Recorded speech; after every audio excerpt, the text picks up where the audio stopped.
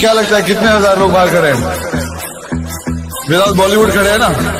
बॉलीवुड पे रह के ही आपकी ज़िंदगी अच्छी होगी। ऐसा कोई ज़रूरी नहीं है मैं तोड़ दूँगा मैं।